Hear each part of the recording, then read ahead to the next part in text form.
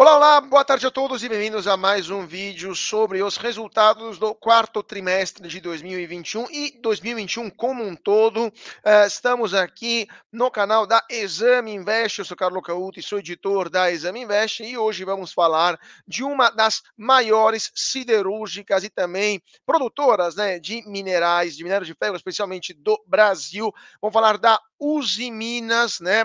Uzi Minas que divulgou os seus resultados na, nos últimos dias e teve um lucro recorde, seu maior da história, 10 bilhões de reais, né? Então, um resultado muito positivo para a Uzi Minas, que também teve números importantes na receita e também na produção de aço. Mas para entender melhor sobre os resultados da empresa nesse 2021, nesse último período de 21 e no ano passado inteiro, estamos aqui juntos com o presidente da Uzi Minas, Sérgio Leite. Presidente, muito boa tarde, muito obrigado por estar conosco aqui na Exame Invest. Boa tarde, Carlos. Para nós da Uzi Minas é um prazer estar com vocês.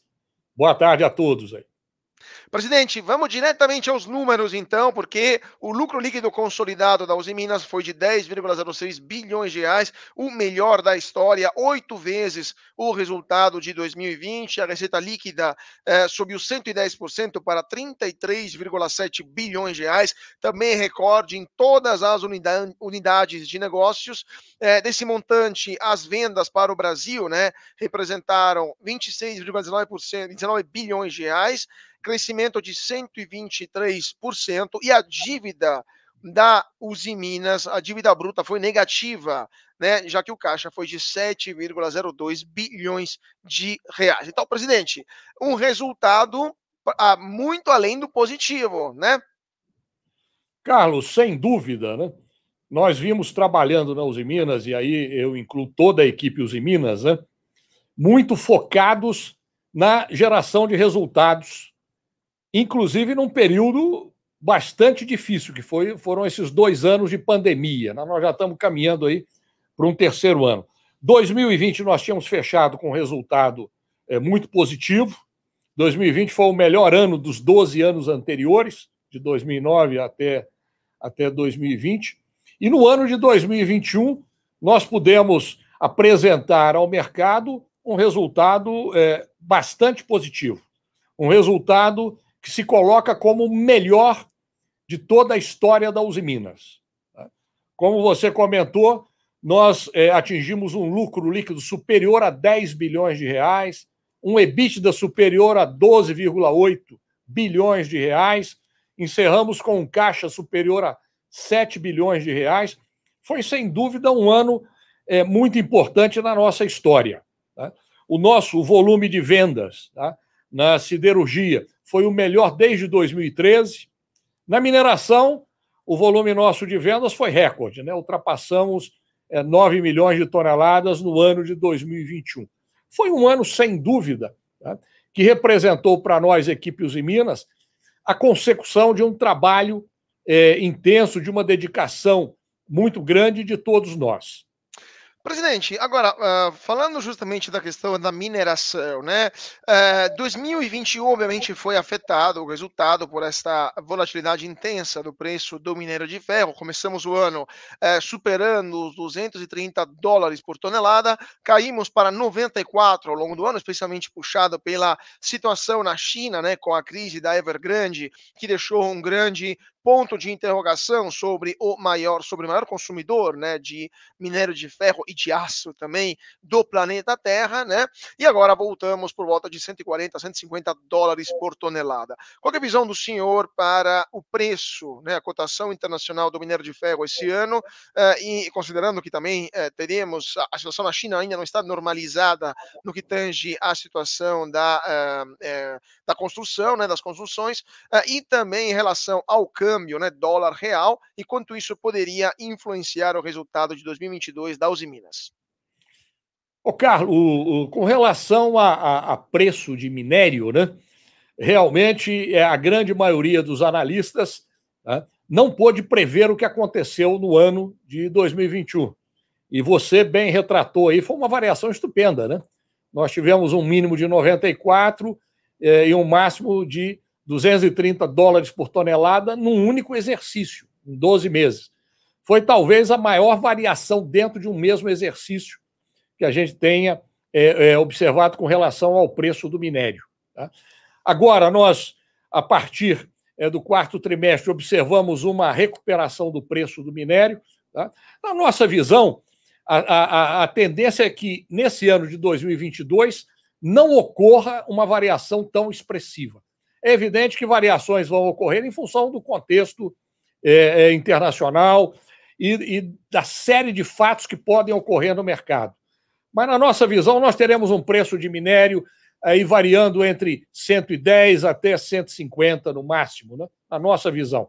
Agora, é, é, é, é tudo imprevisível, né, Carlos? É a gente fazer uma estimativa, né? E eu não sou um analista com relação a preço de minério de ferro, né?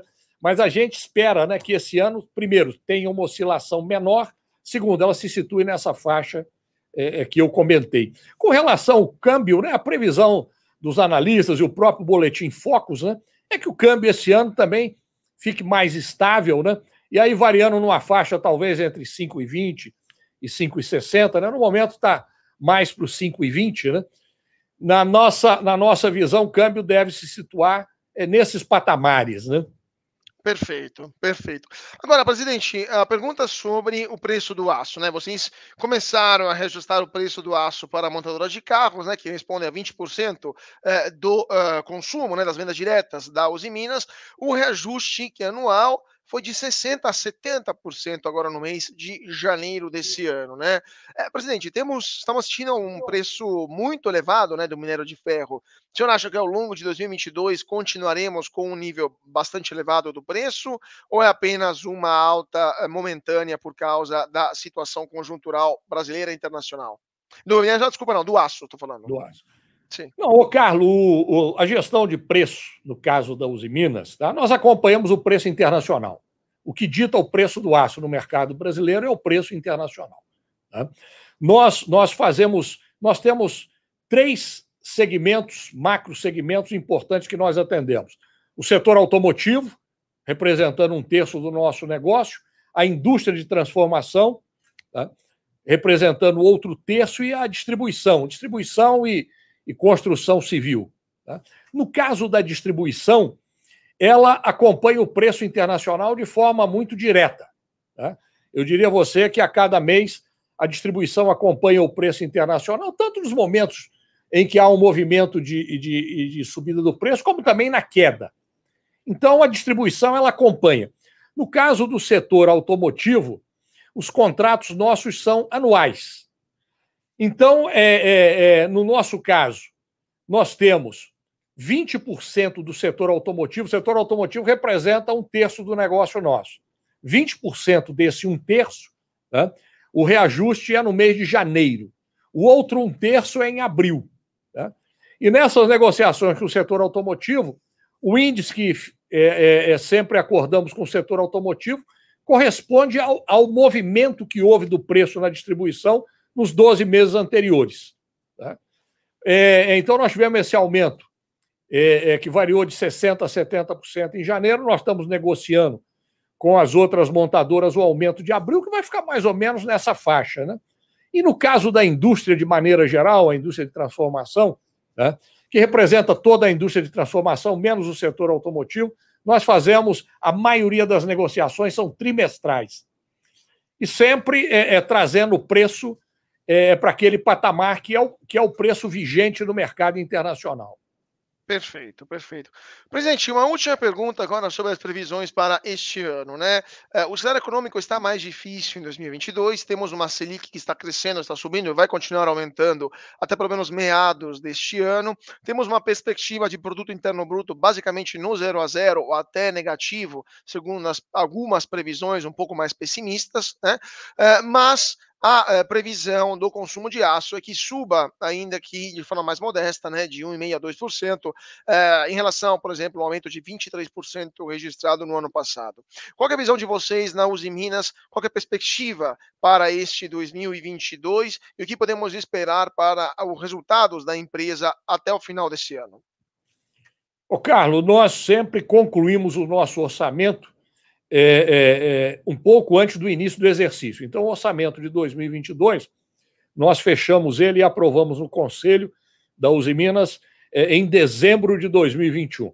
Tá? No orçamento de 2022, 22, nós já embutimos essas previsões é, é, que são hoje as vigentes no mercado. Nós vamos ter um pequeno crescimento do PIB tá? esse ano. O Boletim Focus de hoje fala em 0,3, nas nas duas últimas semanas falou em 0,3. O Instituto Aço Brasil está prevendo um crescimento tá? é, é, do consumo aparente de aço no Brasil no patamar de 1,5%. Contra uma situação que nós é, é, tivemos em 2021, de um PIB crescendo em torno de 4,5%, o resultado ainda vai ser divulgado em março, né? e um crescimento do consumo aparente de aço superior a 23%. Tá? Então, nós estamos, nós estamos trabalhando é, dentro dessa expectativa, tá? o, o, uma manutenção do consumo é, num patamar muito semelhante ao do ano passado, tá? e com essa perspectiva de um crescimento é, é, é, menor e muito baixo do PIB. Consumo de aço e crescimento econômico andam sempre juntos, né? E o, o ano passado foi um grande exemplo, né? PIB 4,5%, consumo cresceu 23%. Esse ano, PIB aí em torno de 0,3%, 0,5%, previsão do Aço Brasil 1,5%. Né? Então nós estamos trabalhando com essa expectativa, né? Vamos ver então o que vai acontecer e com certeza comentaremos os resultados da Uzi Minas é, do primeiro trimestre deste ano junto. Vamos ver como é que vai ser, como vão ser os primeiros 90 dias desse 2022. Eu queria agradecer muitíssimo o presidente Sérgio Leite da Uzi Minas é, pelo tempo que concedeu para a gente aqui na Exame Invest comentando os resultados de 2021. Muito obrigado, presidente. Foi um prazer tê-lo conosco.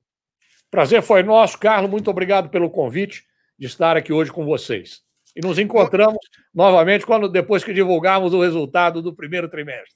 Um grande com abraço. Com certeza, com certeza. Um grande abraço, presidente. Mais uma vez, muito obrigado e muito obrigado a você também que está aqui seguindo a gente no canal da Exame Invest. Sigam a gente nas redes sociais, no Twitter, no Facebook, no Instagram, no YouTube. Se inscreva no canal, deixe o seu comentário, ative o sininho para ficar sempre ligado todas as novidades que são publicadas aqui no nosso YouTube e também não se esqueça de seguir a gente no nosso site exame.com.